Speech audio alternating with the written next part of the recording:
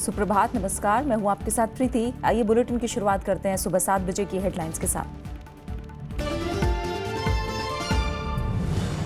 नवजोत सिंह सिद्धू ने थामा कांग्रेस का हाथ। पार्टी उपाध्यक्ष राहुल गांधी से मुलाकात के बाद फैसला।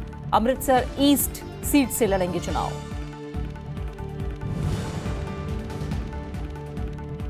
उत्तर प्रदेश में अकेले चुनाव लड़ेगी बीएसपी। पार्टी अध्यक्ष मायावती का बीजेपी और एसपी पर साठ गांठ का आरोप। केंद्र से मांगा काले धन पर जवाब।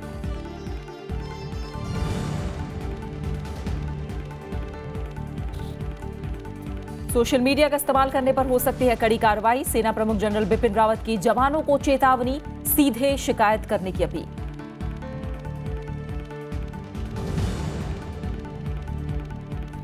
पश्चिम बंगाल में गंगा सागर मेले में भगदड़, छह की मौत, कई जख्मी। मृतकों के परिजनों को दो लाख के मुआवजे का ऐलान।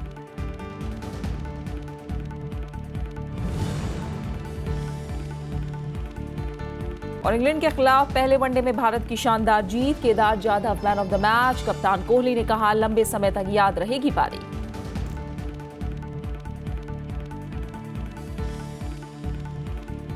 और हम बात करेंगे देश और दुनिया की तमाम अहम खबरों की, लेकिन सबसे पहले चुनाव से जुड़ी अहम खबरें।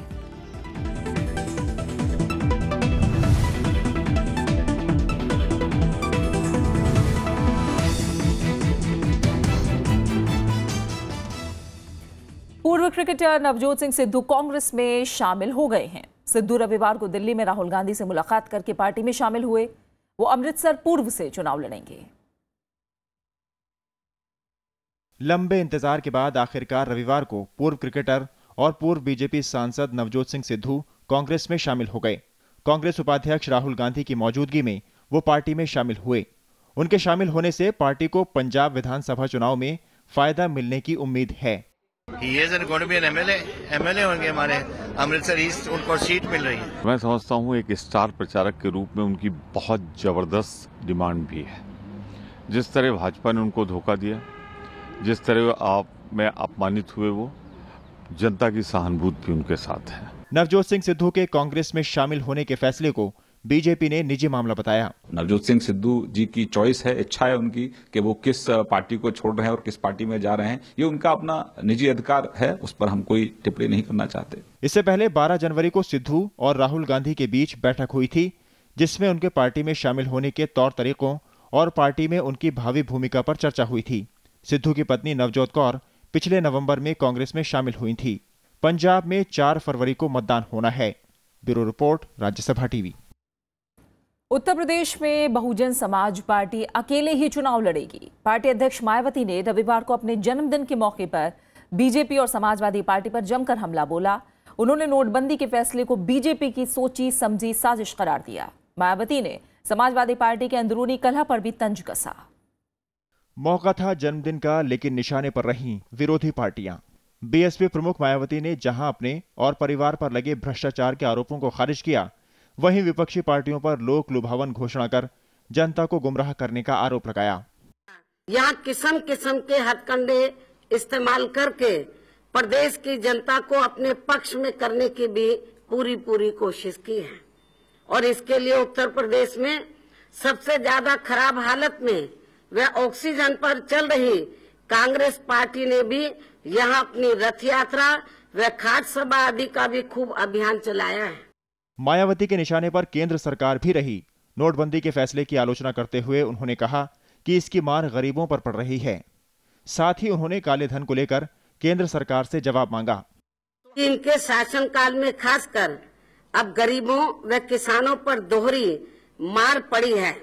सीमा पर भी ज़्यादा जवान, सीमा पर भी ज़्यादा जवान शहीद हुए हैं तथा केंद्र में इनके आने के बाद किसानों द्वारा आत्महत्या करने की भी घटनाएँ काफ़ी बड़ी हैं। मायावती के आरोपों का जल्द ही विरोधी पार्टियों की तरफ़ से भी जवाब आ गया। जब हमारा लोकसभा का चुनाव होगा तो बहन मायावती जी हम एक एक दिन की एक एक पाई का हिसाब किताब देंगे। लेकिन आप पूरी तरह से बौखलाट में हैं आपको इस बात का एहसास है कि आपकी ज़मीन नीचे से खिसक गई है। उत्तर प्रदेश में बीएसपी अकेले दम पर चुनाव मैदान में है। जन्मदिन के मौके पर मायावती ने मेरे संघर्षमय जीवन और बीएसपी मूवमेंट का सफरनामा पुस्तक का विमोचन भी किया। पंचानन मिश्रा, राज्यसभा टीवी। उत्तर प्रदेश और उत्तराखंड विधानसभा चुनाव के लिए बीजेपी आज अपने उम्मीदवारों की सूची जारी कर सकती है। दिल्ली में कल देर रात तक पार्टी की केंद्रीय चुनाव समिति की बैठक हुई। जानकारी के मुताबिक बीजेपी अपने उम्मीदवारों के नामों का ऐलान आज सुबह 11 बजे कर सकती है। इस बैठक में प्रधानमंत्री नरेंद्र मोदी, पार्टी अध्यक्ष अमित शाह और गृहमंत्री राजनाथ सिंह के अलावा उत्तर प्रदेश प्रभारी ओम माथुर और प्रदेश अध्यक्ष केशव प्रसाद मौर्य के अलावा चुनाव समिति के दूसरे नेता शामिल हुए। इससे पहले अमित शाह के घर पर दिन भर बैठकों का दौर चला। बीजेपी ने 12 जनवरी को पंजाब और गोवा विधानसभा चुनाव के लिए अपने उम्मीदवारों की पहली सूची जारी की थी। पार्टी ने पंजाब के लिए 17 उम्मीदवारों और गोवा के लिए 29 उम्मीदवारों का ऐलान किया था।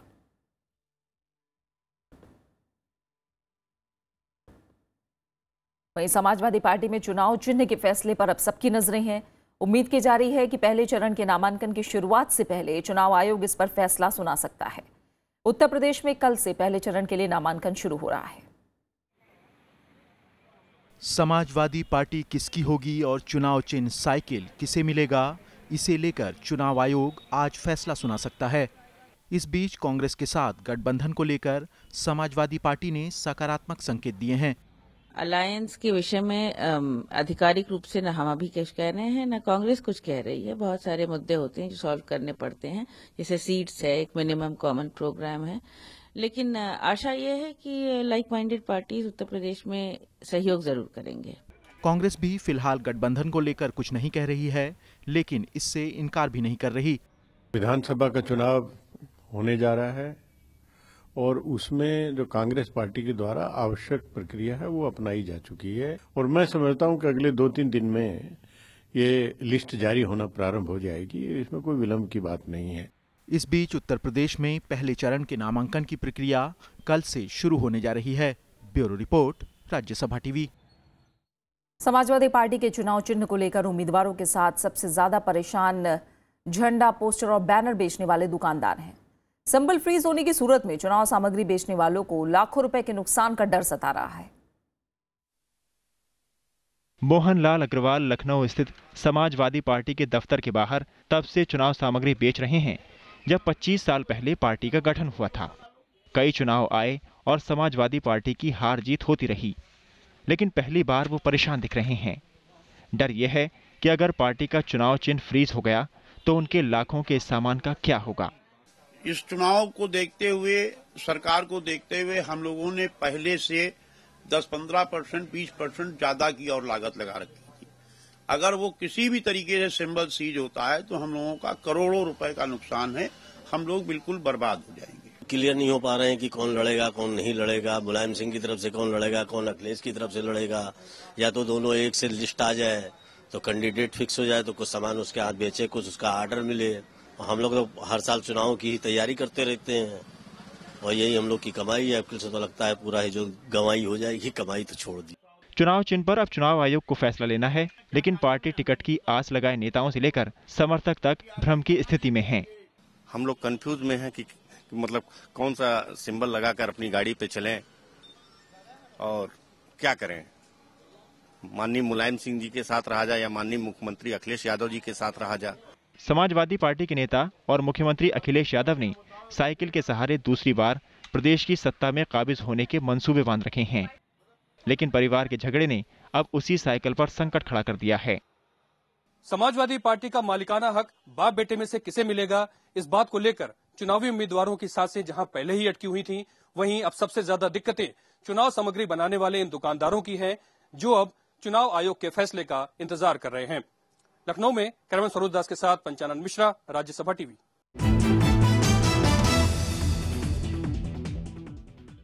और अब कुछ और अहम खबरें। अपनी शिकायतें रखने के लिए सोशल मीडिया का इस्तेमाल करने वालों के खिलाफ कड़ी कार्रवाई हो सकती है। थल सेना प्रमुख जनरल बिपिन रावत ने सेना दिवस के मौके पर जवानों को सोशल मीडिया से दूर रहने की चेतावनी दी। उन्होंने ये भी कहा कि जवान उनसे सीधे संपर्क करके अपनी परेशानियों को साझा कर सकते हैं। नियंत्रण रेखा पर शांति बनाए रखना सेना की प्राथमिकता है, लेकिन सीज फायर उल्लंघन होने पर सेना करारा जवाब देगी। ये बातें थल सेना प्रमुख जनरल बिपिन रावत ने रविवार को सेना स्थापना दिवस के मौके पर कही। उन्होंने कहा कि चीन के साथ भी विश्वास बहाली की कोशिशें जारी हैं, जिससे उत्तरी सीमा पर तनाव में कमी हो। प्रॉक्सी वॉर को लगातार समर्थन दिए जाने के बावजूद हम लाइन ऑफ़ कंट्रोल पर शांति बनाए रखना चाहते हैं। परंतु किसी भी सीज फायर वायलेशन या उत्तेजित करने वाली घटनाओं का मुंहचोड़ जवाब देने से कभी भी नहीं हिचकिचाएँगे। इस मौके पर सेना प्रमुख ने वायरल वीडियो का भी ज़िक्र किया। उन्होंने जवानों को भरोसा दिलाया कि उनकी शिकायतों को दूर करने की कोशिशें जारी हैं। हालाँकि उन्होंने जवानों को सोशल मीडिया से दूर रहने की चेतावनी भी दी। यदि आप कार्रवाई से संतुष्ट नहीं हैं तो आप मुझसे सीधा संपर्क भी कर सकते हैं। आपने जो कार्रवाई की है, आप इसके लिए अपराधजनक भी पाए जा सकते हैं और सजा के हकदार भी हो सकते हैं। इस मौके पर सेना प्रमुख ने वीरता पुरस्कार भी दिए। सियाचिन में शहीद होने वाले लांस नायक हनुमन थप्पा की पत्नी को भी वीरता पुरस्कार प्रदान किया गया। Bureau report, Rajya Sabha. केंद्र सरकार ने कर्मचारियों की संपत्तियों और देनदारियों का ब्यौरा देने की समय सीमा निश्चित काल के लिए बढ़ा दी है। सरकार इस बारे में नए प्रारूप और नियमावली को अंतिम रूप दे रही है। पहले घोषणा करने की आखिरी तिथि 31 दिसंबर तय की गई थी। कार्मिक और प्रशिक्षण विभाग की ओर से जारी आदेश के मुताबिक सरकार नई नियमावली को अंतिम रूप दे रही है, इसलिए केंद्रीय कर्मचारियों को अभी ब्यौरा देने की ज़रूरत नहीं है। देश में करीब 50 लाख अड़सठ हज़ार केंद्रीय कर्मचारी हैं। लोकपाल कानून के नियमों के मुताबिक उन्हें हर साल 31 मार्च या 31 जुलाई तक अपनी संपत्तियों और देनदारियों का ब्यौरा देना होगा।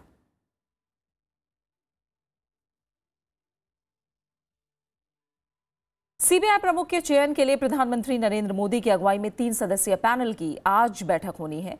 सीबीआई निदेशक के चुनाव के लिए इस पैनल में प्रधानमंत्री के अलावा लोकसभा में कांग्रेस के नेता मल्लिकार्जुन खड़गे और सुप्रीम कोर्ट के मुख्य न्यायाधीश जस्टिस जे एस खेहर हैं। दो दिसंबर को अनिल सिन्हा के रिटायर होने के बाद से सीबीआई निदेशक का पद खाली है। गुजरात कैडर के आईपीएस अधिकारी राकेश अस्थाना अभी सीबीआई के अंतरिम निदेशक हैं। केंद्रीय जाँच ब्यूरो के निदेशक पद की होड़ में 45 आईपीएस अधिकारी शामिल हैं। इनमें कृष्णा चौधरी, अरुणा बहुगुणा और एस सी माथुर को पद के दावेदारों में सबसे आगे माना जा रहा है।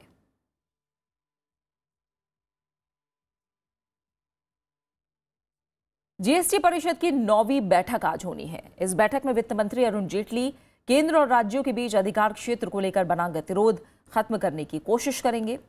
केंद्र और राज्यों के बीच बने इस गतिरोध की वजह से जीएसटी व्यवस्था को अप्रैल से लागू करना मुश्किल नज़र आ रहा है।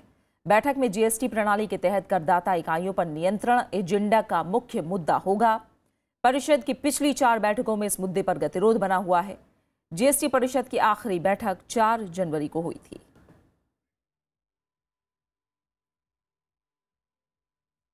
खबरें जारी है, लौट रहे हैं छोटे से ब्रेक के बाद।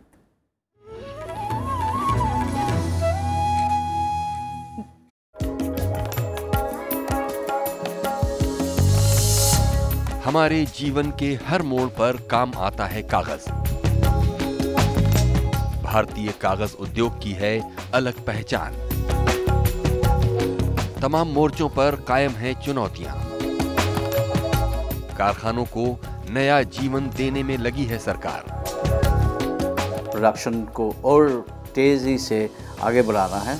इसके लिए हम लोग काफ़ी स्पेशल मेजर्स हाथ में ले रहे हैं। देखिए कागज़ उद्योग की चुनौतियों पर राज्यसभा टीवी की जमीनी पड़ताल।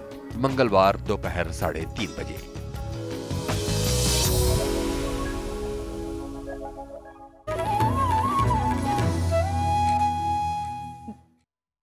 पश्चिम बंगाल के गंगा सागर मेले में मची भगदड़ में पाँच से ज़्यादा लोगों के मारे जाने की खबर है, जबकि कई लोग जख्मी हुए हैं। घायलों को अस्पताल में भर्ती कराया गया है। घटना कोचुबेरिया इलाके में घटी है। राज्य सरकार ने मृतकों के परिजनों को पाँच लाख मुआवजे का ऐलान किया है। वहीं प्रधानमंत्री ने हादसे पर दुख जताते हुए दो दो लाख रुपए का मुआवजा देने की घोषणा की है।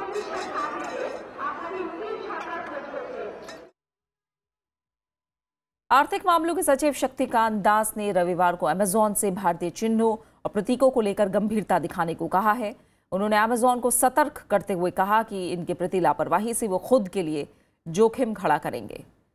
दास ने ट्विटर पर लिखा है कि अमेजोन भारतीय चिन्ह और प्रतीकों को हल्के में ना ले और ऐसी हरकतों से दूर रहे। हालाँकि उन्होंने ये भी कहा कि अमेजोन पर टिप्पणी भारत के नागरिक की हैसियत से उन्होंने की है। पिछले हफ़्ते कंपनी की कनाडा वेबसाइट ने तिरंगे के अपमान पर भारत की कड़ी प्रतिक्रिया के बाद खेद जताया था।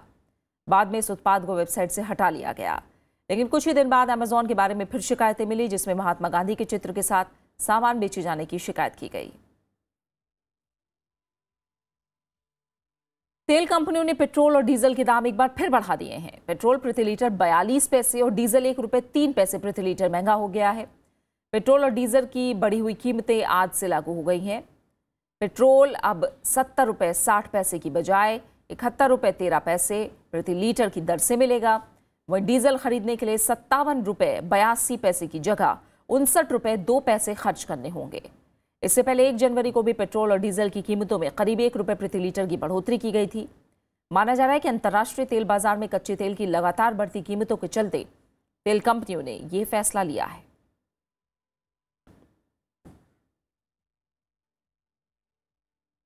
बात मौसम की करते हैं। पहाड़ों पर हो रही बर्फबारी अब लोगों के लिए आफत बन चुकी है। कश्मीर के ऊपरी इलाकों में बर्फबारी जारी है। मौसम विभाग ने अगले कुछ दिन तक हिमपात की आशंका जताई है। वहीं कोहरे के चलते दिल्ली में सत्रह ट्रेनें देर से चल रही हैं, जबकि दो को रद्द करना पड़ा। लेह से लेकर शिमला तक बर्फ़ की सफ़ेद चादर ने सबको आगोश में ले लिया है। गुलमर्ग पहलगाम और कुपवाड़ा समेत घाटी के कई इलाकों में बर्फबारी जारी है।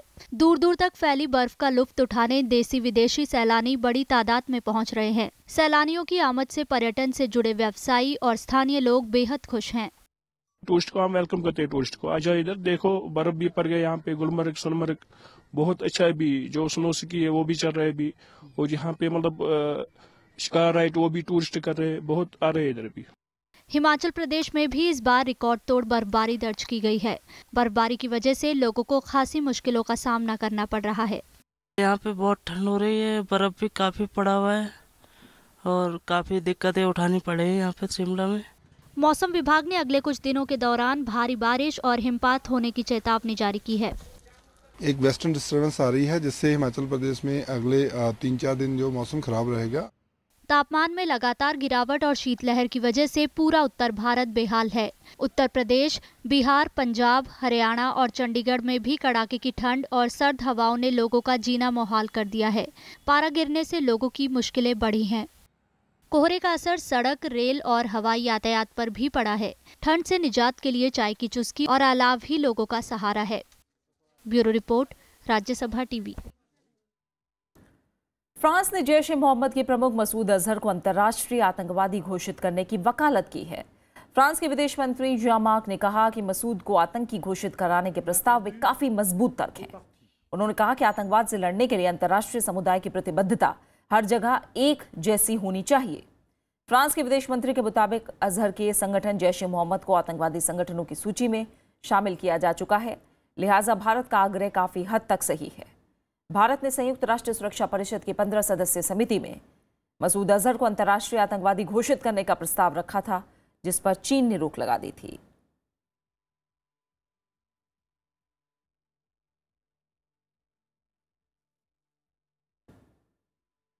इसराइल और फिलिस्तीन के बीच शांति वार्ता शुरू करने के लिए हुआ पेरिस सम्मेलन कल खत्म हो गया। फ्रांस की राजधानी पेरिस में हुए सम्मेलन में सत्तर देशों ने हिस्सा लिया। इस दौरान दो राष्ट्र समाधान की नीति पर चर्चा हुई। हालाँकि इसराइल और फिलिस्तीन दोनों ही देशों ने सम्मेलन में हिस्सा नहीं लिया। इसराइल के प्रधानमंत्री बेंजामिन नेतन्याहू के सम्मेलन को नकारते हुए इसे धोखा करार दिया। उन्होंने कहा कि इससे शांति प्रक्रिया और पीछे चली जाएगी। वहीं फिलिस्तीन ने सम्मेलन का स्वागत किया है। इस बीच अमेरिका ने साफ़ किया कि इसराइल पर बेवजह कुछ भी ना थोपा जाए। हाल ही में संयुक्त राष्ट्र संघ ने इसराइल के खिलाफ कब्जे वाली ज़मीन पर बस्तियों को बसाने के खिलाफ प्रस्ताव पारित किया था। यूएन ने इसराइल के इस कदम की निंदा की थी, जिसके बाद विश्व समुदाय और इसराइल के बीच तनाव बढ़ गया था। बात खेलों की, भारत ने इंग्लैंड से तीन मैचों की वनडे सीरीज़ का पहला मैच जीत लिया है। विराट कोहली की अगुवाई में टीम इंडिया ने पूरे वनडे में उसे तीन विकेट से हराकर विराट जीत दर्ज की। तीन सौ इक्यावन रन के बड़े स्कोर का पीछा करके भारत ने वनडे में चौथे सबसे बड़े लक्ष्य को हासिल किया है। बेहतरीन 120 रन बनाने वाले Kedar Jadhav man of the match रहे।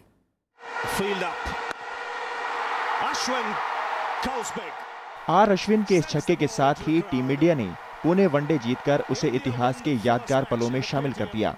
तीन रन के लक्ष्य का पीछा करने उतरी भारतीय टीम शुरुआत में तिरसठ रन पर चार विकेट खोकर संकट में दिख रही थी।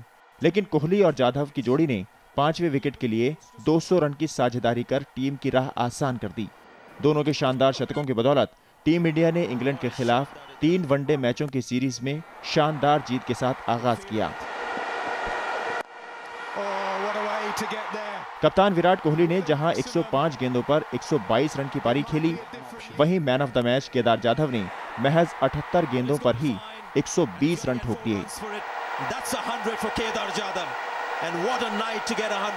ऑनेस्टली हम लोग यही सोच रहे थे कि पार्टनरशिप किसी तरह बड़ी करें और गेम को क्लोज लेके जाएँ बट अगर आप एक आदमी को श्रेय देना चाहेंगे तो आई थिंक वो केदार जाधव होंगे। इससे पहले टॉस हारकर पहले बल्लेबाजी करने उतरी इंग्लैंड ने। जैसन रॉय और जो रूट के अर्धशतकों की बदौलत 350 रन बनाए। रॉय ने इकसठ गेंद में तिहत्तर, जबकि रूट ने पिचानवे गेंद पर अठहत्तर रन की पारी खेली। अच्छी शुरुआत करने वाली इंग्लैंड की टीम बीच के ओवरों में विकेट गवा बैठी। जिससे टीम इंडिया के गेंदबाजों को वापसी का मौका मिल गया। भारत की ओर से हार्दिक पंड्या और जसप्रीत बुमराह को दो दो विकेट मिले। इस जीत के साथ ही टीम इंडिया ने तीन मैचों की सीरीज़ में एक शून्य की बढ़त बना ली है। दूसरा वनडे 19 जनवरी को कटक में खेला जाएगा। Bureau report, Rajya Sabha TV. वैज्ञानिकों ने तमिलनाडु में प्रस्तावित भारत न्यूट्रीनो आधारित वैधशाला, यानी आईएनओ परियोजना का समर्थन किया है और इससे किसी भी तरह के विकिरण और नुकसान की आशंका को खारिज किया है। इस प्रयोगशाला का इस्तेमाल न्यूट्रिनो से जुड़े शोध के लिए किया जाना है।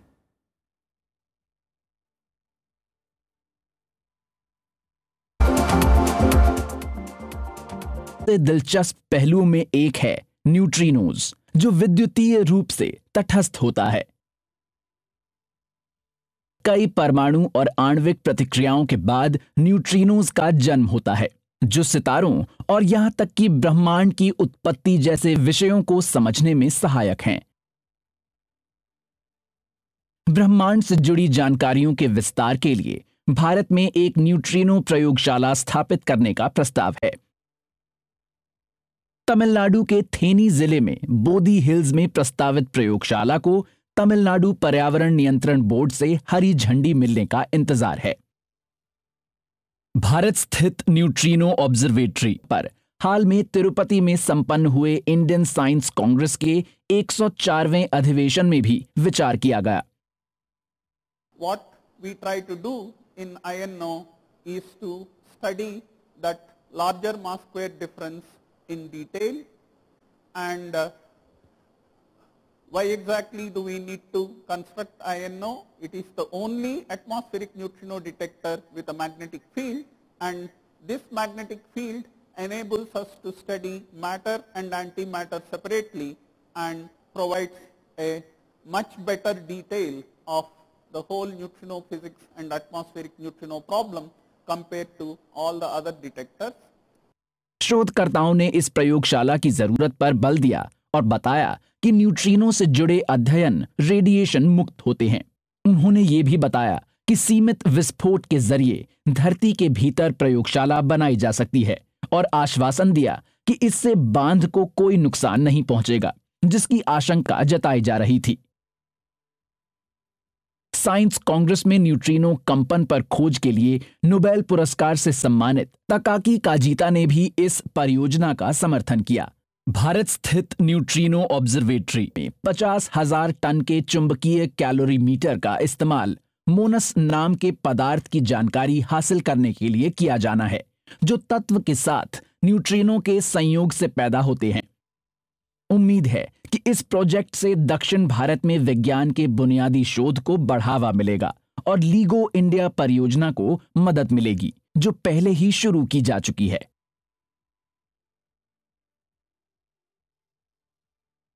और आइए बात करते हैं खास शख्सियत की। मधुर संगीत से लोगों के दिलों में राज करने वाले संगीतकार ओपी नैयर की आज जयंती है। अपने सुरों के जादू से उन्होंने आशा भोसले और मोहम्मद रफ़ी जैसे कई गायकों को कामयाबी के शिखर पर पहुँचाया। शोक और रोमांटिक गीत उनकी संगीत की पहचान थे। होले होले चलो मोरे साजना।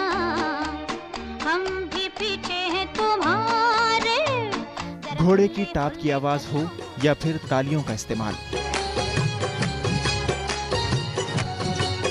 चाहे मुखड़े और अंतरे के बीच सितार का सोलो प्रयोग। ये सिर्फ़ ओपे नैयर के संगीत में मिलेगा। वो तालियाँ, सीटी और घोड़े की टापों से संगीत निकालते थे।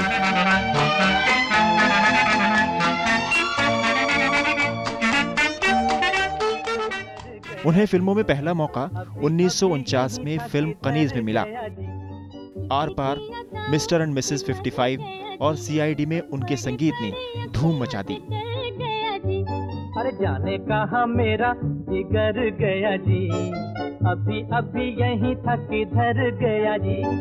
इसकी अदाओं पे मर गया जी बड़ी बड़ी अखियों से डर गया मेरे सनम फ़िल्म से उनके संगीत ने नई ऊंचाइयों को छुआ। कजरा मोहब्बत वाला ऐसा डाला कजरे ने ले ली मेरी जान। हाय रे मैं तेरे कुर्बान। तुम सा नहीं देखा फिर वही दिल लाया हूँ। कश्मीर की कली और नया दौर उनकी बेहद कामयाब फ़िल्में थी। इशारों इशारों में दिल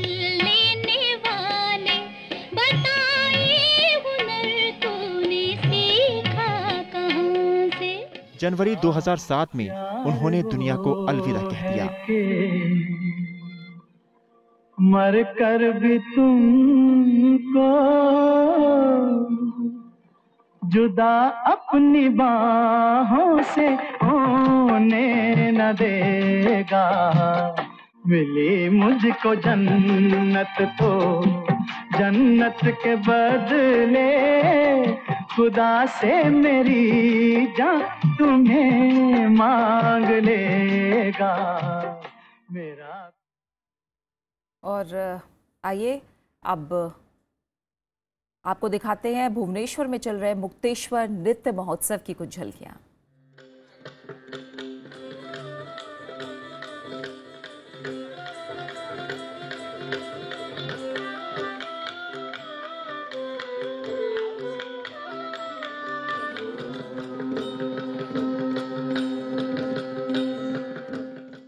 और अब हेडलाइंस नवजोत सिंह सिद्धू ने थामा कांग्रेस का हाथ। पार्टी उपाध्यक्ष राहुल गांधी से मुलाकात के बाद फैसला। अमृतसर पूर्व सीट से लड़ेंगे चुनाव।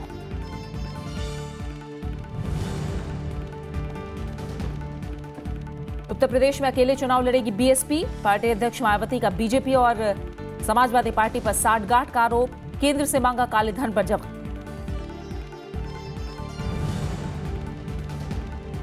सोशल मीडिया का इस्तेमाल करने पर हो सकती है कड़ी कार्रवाई। सेना प्रमुख जनरल बिपिन रावत की जवानों को चेतावनी, सीधे शिकायत करने की अपील।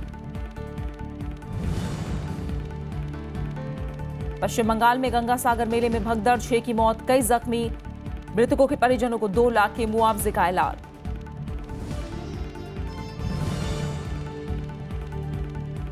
और इंग्लैंड के खिलाफ पहले वनडे में भारत की शानदार जीत, Kedar Jadhav, man of the match. कप्तान कोहली ने कहा, लंबे समय तक याद रहेगी पारी और इसी के साथ फ़िलहाल इस बुलेटिन में इतना ही। आगे देखिए मीडिया मंथन। नमस्कार।